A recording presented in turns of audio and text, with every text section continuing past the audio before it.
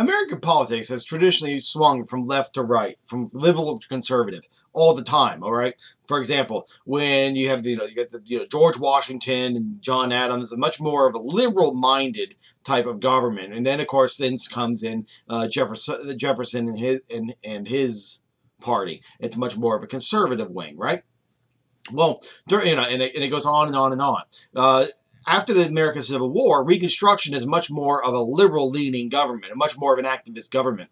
But then when you get to the Gilded Age, uh, you know, the post Gilded Age, uh, sorry, post Reconstruction era, the Gilded Age represents much more of a conservative type of era. Uh, and this is one of the reasons why uh, the Gilded Age is going to happen, because a conservative philosophy is definitely going to dominate much of political thinking in American society. For example, uh, you know, when it comes to these these changes, uh, we have we have people like Karl Marx. They're going to predict that you know what, when you start having extremes of winners and losers on, on a large scale, Karl Marx is going to say, you know what, that's you you are reaching the point. You're reaching the, the tipping point of revolution right? And he said that not only will it be a socialistic, but even a communistic revolution is going to occur. Well, of course, that doesn't happen here, right? Revolutions are about extremes, and for the most part, we're not a bunch of extremists here. What? We are about reforms, right? We had we get you know we have Congress passing a bunch of laws intended to reform the situation that's going on, like ICC or the Antitrust Act, right? But honestly, that doesn't mean anything for ten years or so, you know. But nevertheless, um, the Gilded Age is going to be dominated by a conservative philosophy, not just on government, but also on uh, society in general. The catchword of the the catchphrase of the period is known as laissez-faire. Leave it alone. And usually we hear about it with economics. Just leave the economy alone, let it do what want, it wants to do. However, uh, you can definitely apply it to not only government, but also to uh, to people uh, and, and, and to society. The government does not regulate, it does not protect. This will prevent states and the federal government from doing things to protect workers and the environment during this period. But why is this philosophy so strong during the Gilded Age? Well, traditional political beliefs, i.e., liberty, is definitely going to play a key role, right? We are we we Americans believe in liberty and freedom. It starts off as a political political uh, philosophy. Americans had originally in interpreted freedom from oppressive government, meaning taxation and better representation, right? Take this out of the realm of politics and apply it to society and the economy. And what does liberty uh, promote? Does it promote industrial, uh, you know, regulation? No, it promotes, it supports laissez-faire.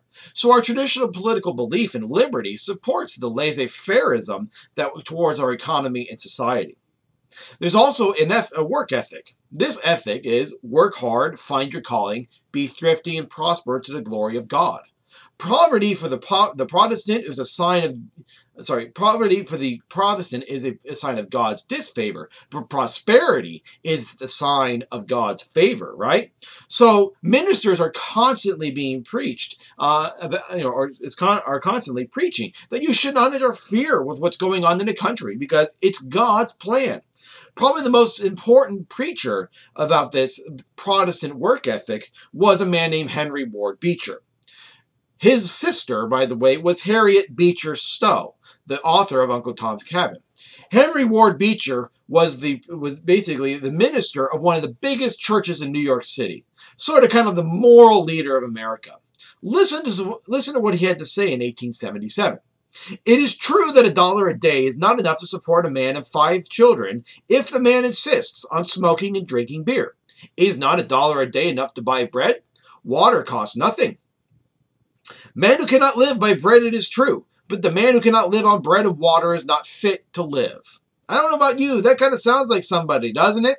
If you know, you know a certain somebody named Adolf Hitler, right? Um, so in the Third Reich. So I would like to see Henry Ward Beecher, honestly, live on bread and water. See how well he does. But nevertheless, uh, to to the moral leader of America, therefore, if you made a dollar a day and, and Beecher's making 40,000, well, guess what? That's just God's plan. And that's just part of what's going on during this period. The conservative philosophy of the Gilded Age bleeds over into other areas. For example, Darwinism. Darwin in 1859 publishes his book called The Origin of Species, right? This expounded the idea that life, life in, is basically evolving uh, and going to higher and higher uh, life forms, right? And those that adjust best are going to survive right? This is what's known as natural selection. Well, if you take that out of biology and put it to society, you know, it's not it's not much of a stretch of the imagination, right? A catchphrase during this time period occurred: "Survival of the fittest," and quite honestly, Darwin never really said it. Uh, sometimes it's called social Darwinism, and the greatest of the social Darwinists is a man named Herbert Spencer. Herbert Spencer argued that life was indeed evolving to higher and higher life forms, provided, however, that there was nothing that would interfere and help the unfit and restrict the fit.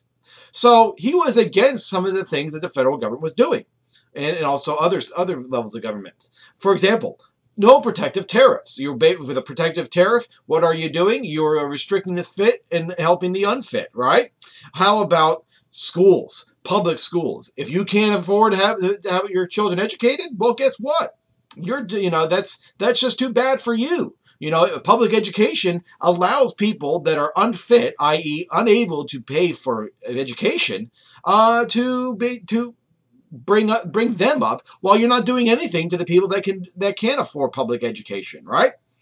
Uh, so he's even against government quarantine of diseases. Me basically saying, you know what? Let's make sure that society the strongest survive. How? Well, let's just let smallpox go through. Yeah, let's not. Why the heck not? Just do it. Uh, let's see what happens. After all, the people who survive, they're the ones that we want to be in this country in the first place. This is what's called social Darwinism.